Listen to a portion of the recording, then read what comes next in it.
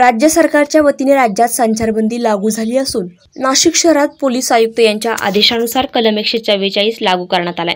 विनाकारण फिरणाऱ्यांवर कारवाईचे आदेश दिले आहेत. या अनुषंगाने सातपूरमधील तीन ठिकाणी अशोकनगर सकाळ सर्कल आणि पाईपलाईन रोडच्या रिलायन्स पेट्रोल पंपाजवळ नाकाबंदी करण्यात आली आहे.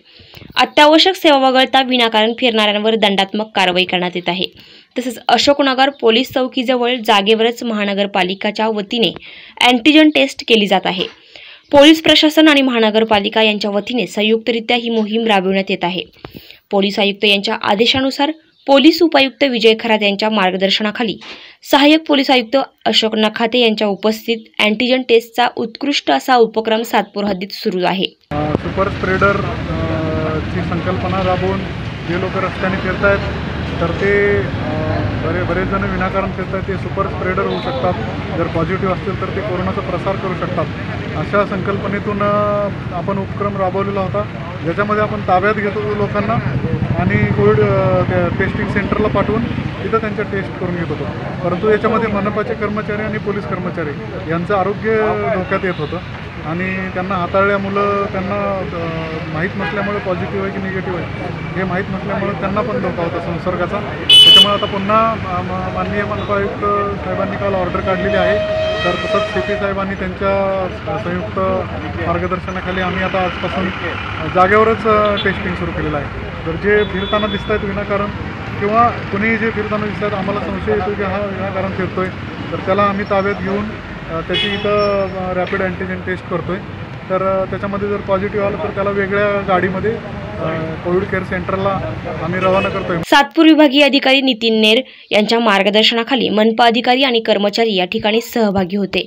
याविषयी सातपूर पोलीस ठाण्याचे पोलीस निरीक्षक किशोर मोरे यांनी अधिक माहिती दिली.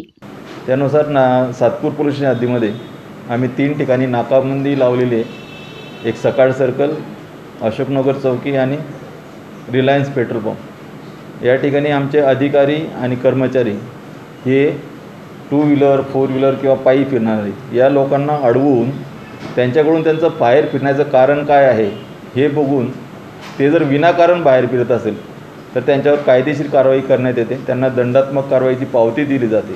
तुम्हाला फक्त मेडिकल डॉक्टराचं प्रिस्क्रिप्शन तुमच्याजवळ असेल काही इमर्जन्सी गोळी घ्यायची असेल ती जर तुम्हाला तुमच्या घराच्या जवळ मिळत असेल तर ती घराजवळच घ्या. विनाकारण आपण राहतात सा अशोकनगरला आणि गोळी घ्यायला तुम्ही रिलायन्स पेट्रोल चालला आहात. हे योग्य नाही. मी पोलीस आयुक्त साहेबांच्या वतीने सर्व सातपूर्वासियांना एकच विनंती करू करतो की त्यांनी विनाकारण घराच्या बाहेर पडू नका. फारच इमर्जन्सी गरज असले तरच घराच्या बाहेर पडा. शासनाने आणि पोलीस आयुक्त साहेबांनी हे स्ट्रिक्ट लॉकडाऊन केलेले आहे संचारबंदी चोवीस तासासाठी आहे. त्यातले त्यात शुक्रवार आणि शनिवार हे किराणा दुकानंही बंद आहेत भाजीपालासुद्धा बंद आहे फळंसुद्धा बंद आहेत. फक्त मेडिकल फक्त आणि फक्त मेडिकल टोर चालू राहतील. त्यामुळे शुक्रवार आणि शनिवार मिनिमम या दिवसांत तरी कारणाशिवाय बाहेर पडू नका. इतर दिवशी तुम्हाला कारण सबळ कारण असेल तरच बाहेर पडा. नाही तर आपल्यावर कायदेशीर कारवाई करण्यात येते.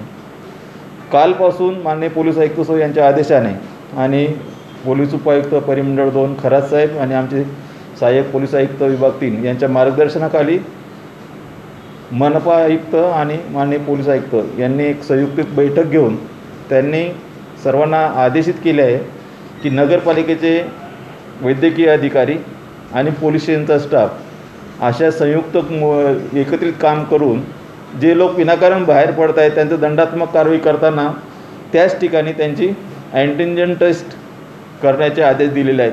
विशेष म्हणजे या उपक्रमात एक सेवानिवृत्त सहाय्यक पोलीस उपनिरीक्षक शंकर बागुल हे देखील पोलिसांना सहकार्य करताना दिसत आहेत.